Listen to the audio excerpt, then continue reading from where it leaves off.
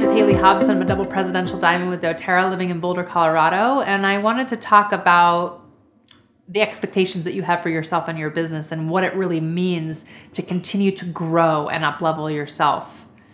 I often hear leaders in high ranked positions complaining that their teams are stagnant or that their teams aren't working or that they just can't hit that next rank and they're waiting for a leg to pop or they're waiting for a certain builder to do something.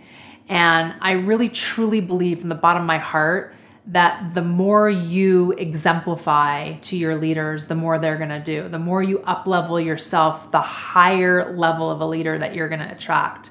And so if you've been cruising through your business and you're stuck and you're stagnant and you consider yourself maybe a level 5, a level 6, a level 7 in this business or in life, you need to become a level eight. You need to become a level nine. You need to become a level 10 or.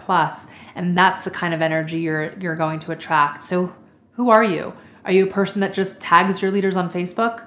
Or are you a person who just texts people and doesn't get on calls?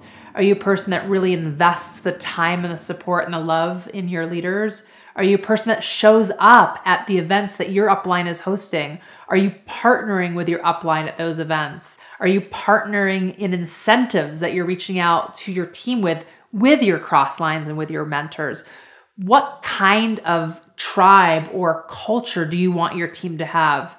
And if you want your team to have that, you need to model that to your team. And I call all of that up leveling ourselves. The types of skills that I felt like I had to up level myself were communication, becoming a better listener, not being such a hot, stubborn head, calming myself down before I spoke to people, doing more and more personal development, and not getting discouraged and seeing the glass half empty, but looking at rather as ha- being half or more full and deciding that if I wanted to see a difference, I was going to make a difference and I wasn't going to sit around and wait for it to happen to me.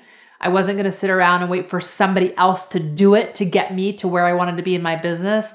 I was going to get out there and continue to be better myself, better than I was the day before, and to attract better energy into my business. And what I mean by that is I never stop enrolling. I never stop bringing fresh blood into my organization.